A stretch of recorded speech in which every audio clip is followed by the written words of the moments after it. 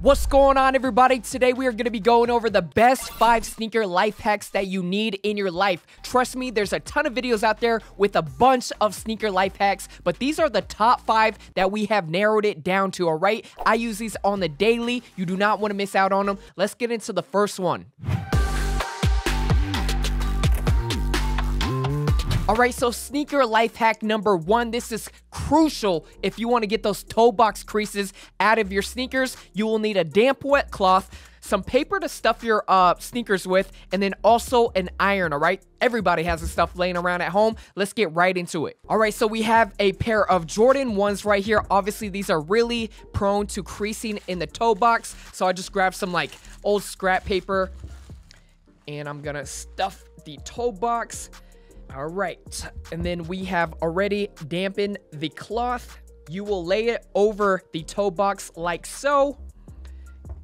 Make a little nice little cocoon. Very important that you make sure iron is piping hot, all right? Piping hot. Make sure the uh, the little sprayers are working.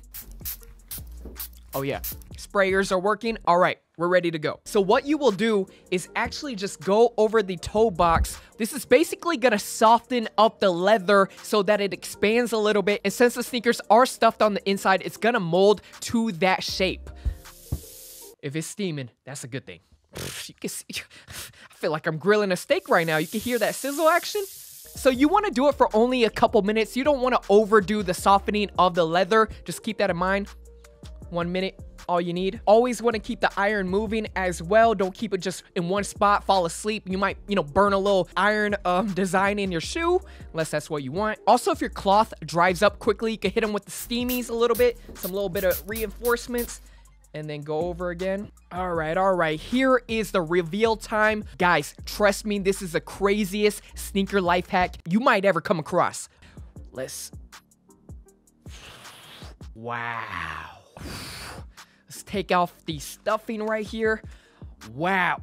That is crazy how good this sneaker hack works right here. Almost looks brand new in the toe box area. So yeah, make sure you guys look into it to give your crease up sneakers a second life. Woo! Okay, so this one right here is to turn any canvas-like sneaker into a waterproof material, right? Especially, you know, here in Seattle, this is crucial because it rains so much. So we got our canvas sneakers right here. We got a candle, and then we got some lighters. Super, super simple. And if your candle smells good, it makes your sneakers smell good as well. Let's get started. So we have the untreated sneaker right here. You you run this through some water. Water's flowing through it like the Serengeti, all right? All right, so what you will do is take a candle.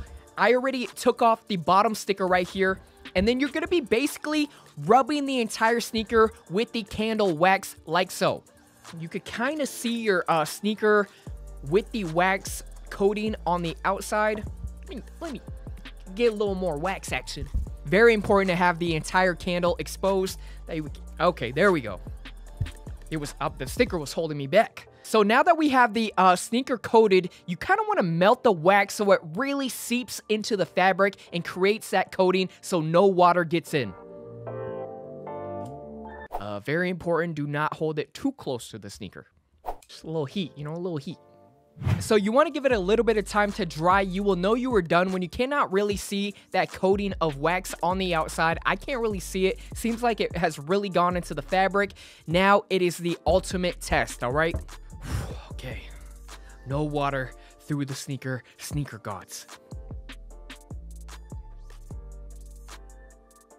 Oh, look at that going right over, not even soaking into the sneaker. This is proven the wax method to waterproof any canvas sneaker. Definitely recommend this, but take your time. So to me, what makes a true sneaker hack is utilizing things that you have laying around the house, making it really convenient to solve these problems. And everybody has a box of tea bags in their house.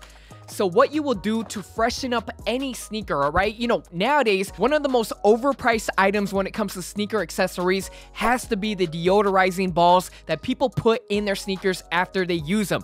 All you gotta do to replace those and not spend an arm and a leg are these tea bags right here. You could get any scent or flavor, flavor, scent, Well, now it's a scent. So this one right here is a green ginger. I don't know if it's 100% true, but I heard ginger eliminates odor a little bit more than, you know, your fruitier teas and whatnot. Who knows? They say ginger solves everything, so I don't know. But all right, so you got the tea bag right here and you will literally just place it in the toe box of your shoe after each use and it'll trust me guys this will solve any funky smells. I used to have a small apartment a couple of roommates and this was a game changer. We didn't have to spend like 20 bucks on a set of deodorizing balls. You could just put your tea bags in your sneakers like so. If you want to even go the extra mile you could shake a little bit of the powder in your shoe. Leave them overnight or until the next time you wear them. And then if you're not using them, you could just put them in like a Ziploc bag or whatnot next to the door to keep them organized.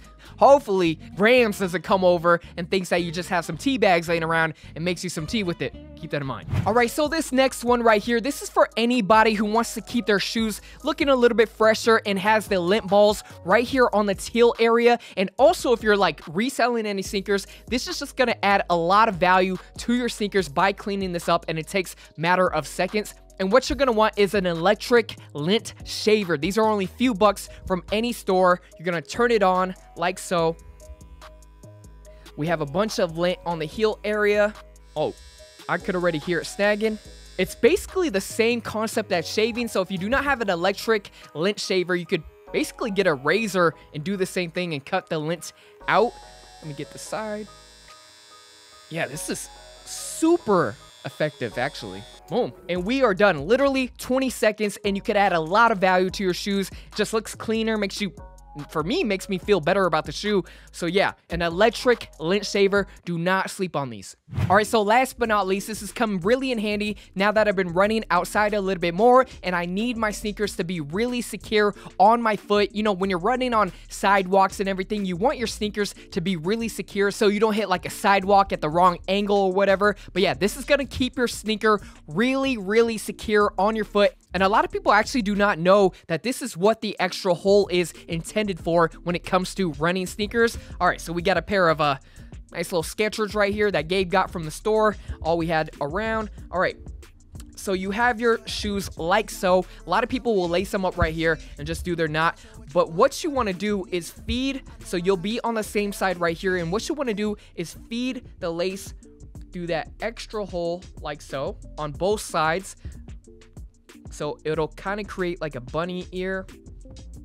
And then you want to cross the lace to the other side. And then you're going to drop them down through the hole. And then you want to tighten. And trust me, guys, I know it sounds very simple, looks very simple, but once you lace up your shoe, it'll be like extremely secure on your foot. And this also is really good for any shoes that are a little bit too big when you are working out in or playing ball in and you just want that extra security. This really locks down your foot and adds a lot of value and it's completely free. So something a lot of people overlook but goes a long way is the runner's loop. All right, guys, thank you for checking out that five sneaker hacks you need in your life. I know there's a ton out there, but these are just five that I found really useful for my life. Let me know down in the comments below if there are any that I missed that you personally find really useful. I'm definitely curious to see them. That's pretty much it. And until next time, I'm out. Peace.